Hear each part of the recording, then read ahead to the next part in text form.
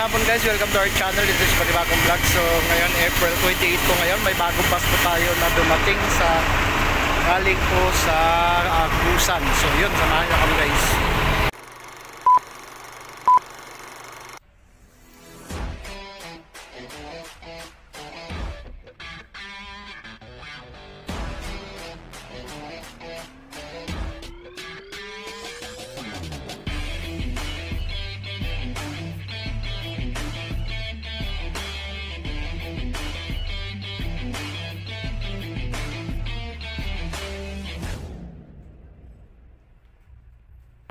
So ito po ngayon bus ngayon bagong dumating no? Ah, kay regular to dati ni Board Hinayon. So galing to dati sa San Franz tapos pinarking ko sa kanila dahil pinulaw to sa San Franz. Kasi po nakadahilanan po ng usapin sa bayaran sa arawan na renta. So yun po yung bus natin no So dinala na po dito ngayon ng Davao ngayon. So babiyahe na po siguro ito. Yung bus na to. Alis na kaya? Ah, may dala nito. Oh, no, no.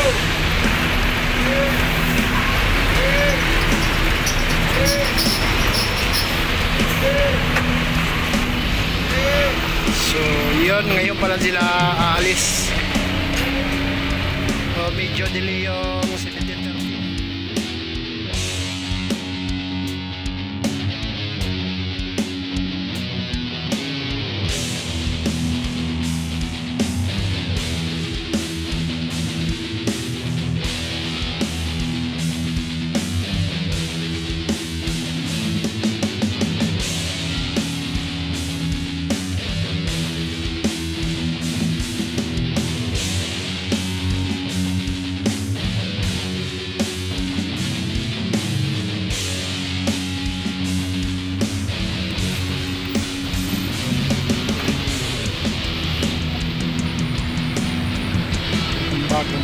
ng 1751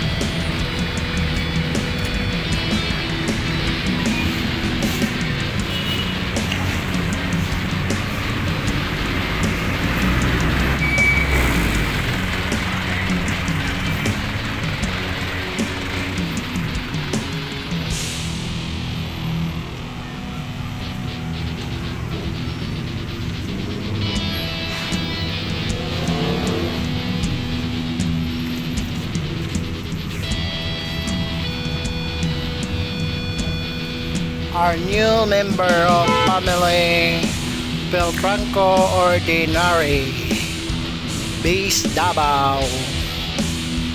1751 Nice one. So ito ngayon babalik na sa operation tong 1751 So yan makikita nyo ang bakas ng pandemic. Yan po. Pero kung makikita nyo guys no yung pong mga istribo is pit na pit pa. So ibig sabihin maganda pa talaga. Medyo bago bago pa. Pero dahil po sa bakas ng pandemic ayan po lutong po yan. Nagtutuklapan sa ulan. Init. Yan kung tutuusin guys no ah, sa nakakaalam no itong mga bus na to kung di ako nagkakamali is model 2015 so medyo bago bago pa ito. Yan no. Kaya nagkakaganyanan yan dahil sa ulan init hindi po bumabiyahe. Kung makikita nyo kupas na kupas na po yung kulay. Ayan ito yung harap. Kulay dilaw na. Oh, kumupas na. Yung puti parang kulay gatas parang cream na ang kulay. Oh. tapos sa gilid naman tingnan natin lahat no So yan po ang mga bakas ng pandemic. So kung naalala nyo guys no, yung 1900, ganun din po yan. Classmate yan ito. Doon to sila sa San Franz na Classic. Kasabay ito, isang classroom. isang classroom to sila no? Adi? Isang classroom to 1900 at saka 1751.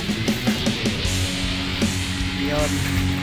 Parehas to sila sa San Fran sinabot ng pandemic. So ito medyo naka-recover-recover na.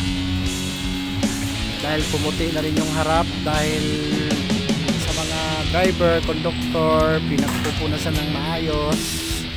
Tsaka kita nyo yung mga tama oh, sa, dahil po sa pandemic yan. Sobrang ulan, init, araw. Yan, nagkabitak-bitak na. So ganun din po to 1751. Isipin nyo mula ano 2000 ah 2019 ba yun. Ganun nga. Mula ng pandemic. Ngayon lang naka ano ito yung unang biyahe niya kung sakali. Dahil dito na kayo sa Milabaw kinakondisyon na yan. So, biyahe na ata sa linggo. Parang sila ata ang una sa amin babiyahe makikita nyo ang bakas ng pandemic. So kung tutusin hindi naman talaga itong bus na to eh. 2015 pa lang ito. Ayan no, pumutok na yung mga ano, gilid. Ayan. Tutusin matibay pa talaga to Si alam niyo naman guys no na ang Peltran ko po ay hindi po kukuha na bus na pipitsugi lang. Kasi gagaya nito ang biyahe namin Luzon, Visayas, Mindanao. So kung pag-uusapan lang ng bus, hindi basta-basta to kukuha ng mga chikwa-chikwa lang na bus. Ayan no. Talagang kukuha to sila sa local manufacture talaga kagaya ng Santa Rosa, Philippines. Yan sila yung mga authorized sa bodybuilder ng Beltranco so yan no? Yung kinakalawang na yan dahil yun sa stock tagal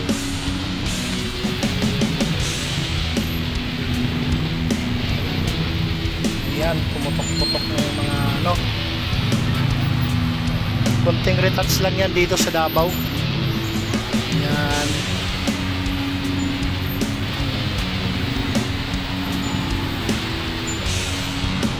Tingnan nyo naman.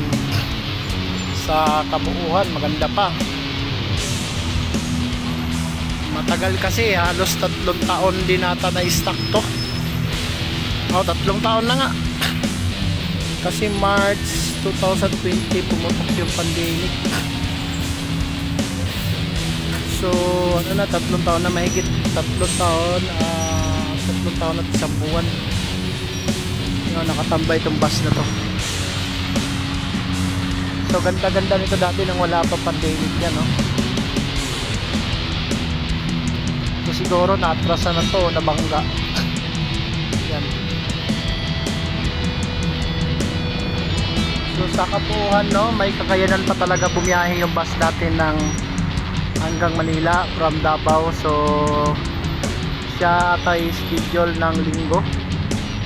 Mauurong kami ng biyahe kami mauurong na kami sa lunes at kundi martes. So yun ang 1900 naman. Yan sila mag classmate yan sila. Parehas yan ito. Kailan lang to bumiyahe? Wala pa tang apat na buwan itong 1900 so ito hanggang dito na lang guys no ang ating review no. no shout out na lang sa mga empleyado ng Peltranco.